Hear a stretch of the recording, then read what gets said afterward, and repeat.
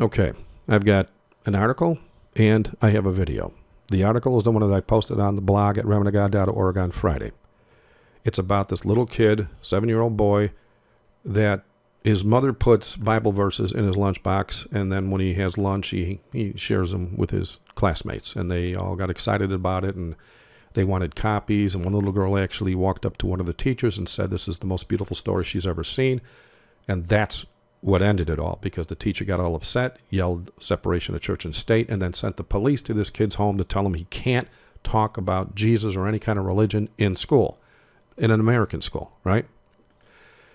Check this out. In an American school in California, this is happening.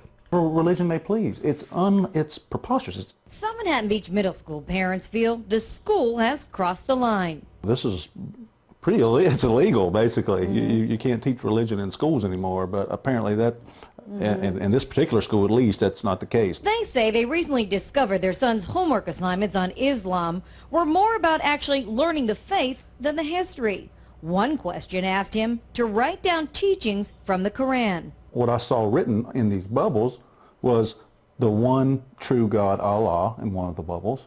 And one of the other bubbles was all people must submit to Allah in another bubble.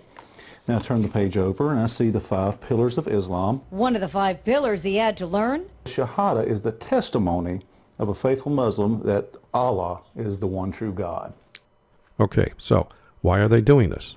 Well, if you go to the main website at remnantofgod.org and you um, go to the RCC Exposed section and scroll down to the Pope and Islam, you'll see that the Vatican was the first to push Islam and Sharia law and the worship of Allah in all Roman Catholic schools many years ago. I have it all documented on this page.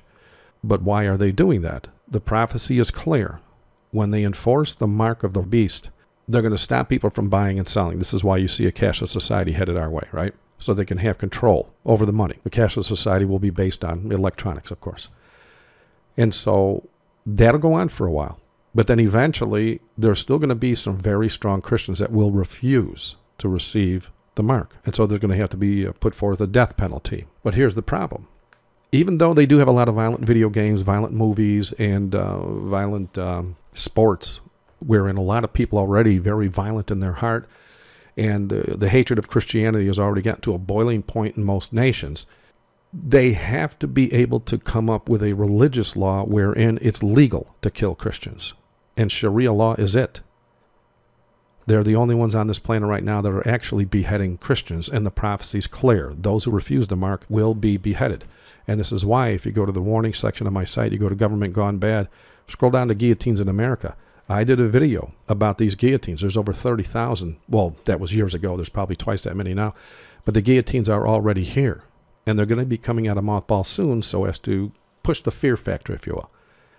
Uh, but the fact of the matter is, Sharia law allows for this. And so they have to teach it in the schools to indoctrinate the children so that by the time the children graduate and start voting, they won't have a problem with Sharia law. Just like how they indoctrinated the children in the last 15, 20 years in regards to homosexuality. Now they're all voting pro homosexuality, even though the homosexual movement is the smallest minority on the planet. But most kids have been indoctrinated years ago to vote for it.